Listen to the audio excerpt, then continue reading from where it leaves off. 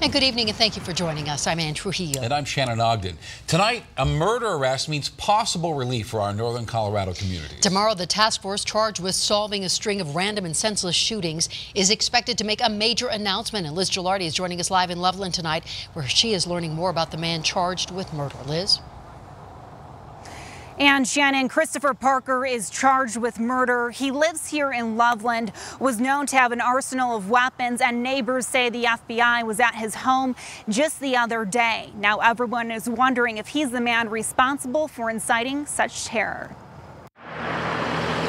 We thought maybe they quit investigating. 107, I was 138 started CPR. June 3rd, 2015, William Connole shot near a busy intersection in Loveland. Dan and Fran Marthy, his friends and neighbors, saw him just before he was killed. Yeah, we were chatting here, and then he he left, and the rest is history.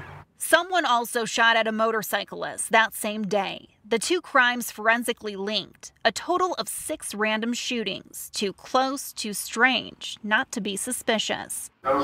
Nearly three years later, Christopher Parker arrested in court, charged with first degree murder and attempted murder for crimes that happened on June 3rd. Relief, and thank God. Yeah. Yeah. yeah. We've been waiting, you know, quite a while. A high school friend confirms this is Parker's Facebook page. What we found is disturbing, including this post. It says, always talking about my murder skills. But then hearing today what what it could be related to just really sends chills. The Loveland SWAT team knew Parker had an arsenal of weapons in his home, and he was placed on a 72 hour hold with a mental health facility.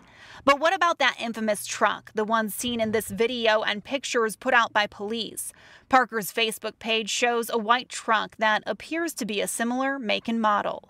Tonight, more questions as we wait to hear an update from the task force investigating the string of random shootings. Well, justice, justice, whatever that may be, you know, and hopefully it'll come to solve some of these others around in this area. We're hopeful. And although this happened in 2015, this is still so fresh in people's minds. They say back then they stopped going outside, walking outside because they were just so scared. So if this arrest is indeed linked to any of these shootings, it would be such a huge relief. Reporting live tonight in Loveland, Liz Gelardi, Denver 7. Thank